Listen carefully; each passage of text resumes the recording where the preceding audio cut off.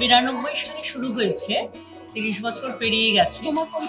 আর আর আমরা এই অঞ্চলের সব অধিবাসী বৃন্দ এখানে আমরা সবাই মিলেই এই পুজোটা করি প্রথম থেকেই করি।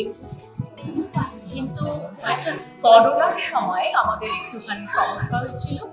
যদিও আমরা প্রচুর সাহায্য করেছি সবসময় আমাদের ক্লাব থেকে একটা সাহায্যের একটা চলে, প্রচেষ্টা চলে। তো তখনও করা হয়েছে। তার ফলে একটা তো সব সব কিছুতেই একটা সেই করোনার সময় একটা সমস্যা দাঁড়িয়েছিল। সেইখান থেকে একটা যে আমাদের সমস্যা সৃষ্টি হচ্ছে সেইখান, তারপর থেকে, করোনার পর থেকে আমরা মহিলারা এই পুজোটা আমাদের এই ক্লাবে সবকিছু অনেকদিন ধরে প্রচেষ্টা চলছে। কিন্তু আমরা এই দু বছর ধরে মহিলারা এই ক্লাবের সব দায়িত্বভার নিয়েছি।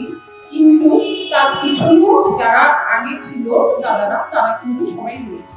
কাউকে ছাড়া কারোর কোনো কাজে সম্ভব হয় না।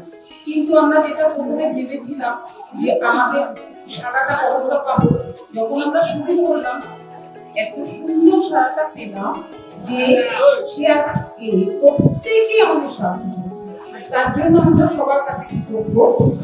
এছাড়া আমরা যে একসঙ্গে যেই উদ্যোক্তারা হয়েছে সেটার জন্য যে সবাই কতটা সময় দিয়েছে সেটা বলে করা যাবে যাই হোক, পুজোটা তো খুব সুন্দরভাবে হয়, পুজোটা যতদিন হয়, মনে হয় যেন আমাদের একটা সবাই মিলে একটা পরিবার।